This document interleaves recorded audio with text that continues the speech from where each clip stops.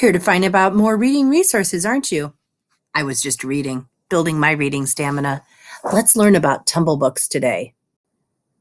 Okay, you can find TumbleBooks in our virtual classroom and on the C web page.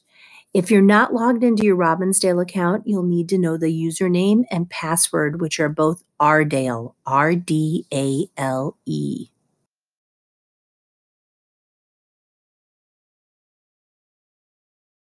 Source that we got to by clicking on the C School website and then going to the Media Center resources.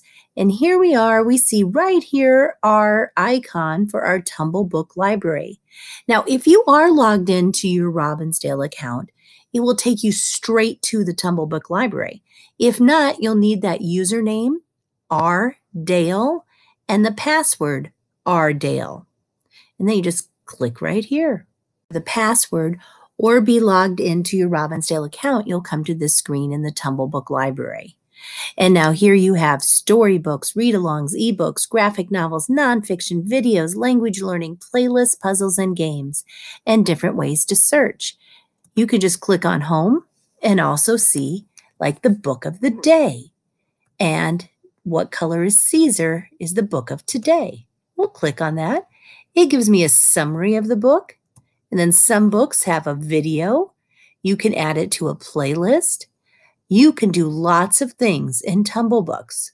Try to read TumbleBooks to build your reading stamina.